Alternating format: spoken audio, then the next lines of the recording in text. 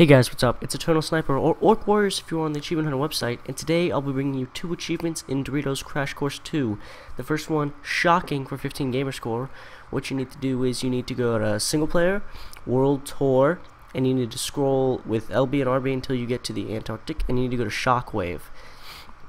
It costs about 25 stars to unlock, but if you just play one, one to four levels or something, and you get most of the stars, you should be able to unlock it. Now, what you want to do is when you start it off, you know, you get to see the whole little course and everything. Just like this, you get to see the little course, whatever. Shows you all, most of the stars are, you can see where you need to get them. This achievement is to, uh, what is it, get shocked five times in a row, or something. Yeah, get shocked five times in a row. I believe, uh, yeah, let's just get shock five times in a row.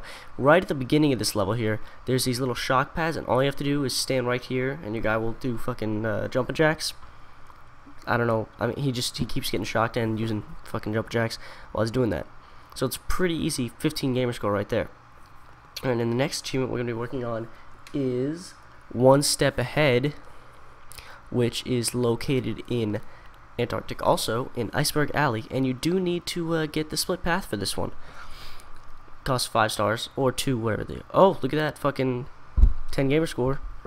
Third achievement, hidden achievement. Not really.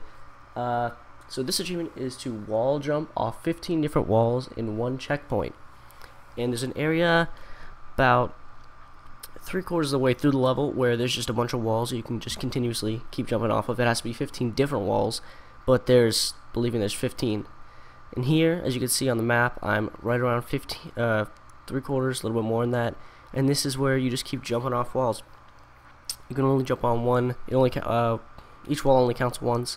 So you can go all the way down and then there's more and you can just keep jump jump jump. And the reason you need to unlock the split path is because on this side over here after you get all the the ones on the side right there you need the area above right now the area above right here.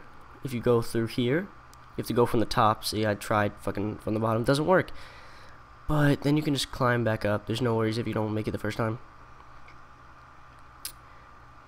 And you the split path up here you go right and there's three two or three more walls three I think and that's what you need and there you go, guys. Uh, that's another 15 easy gamer score, one step ahead.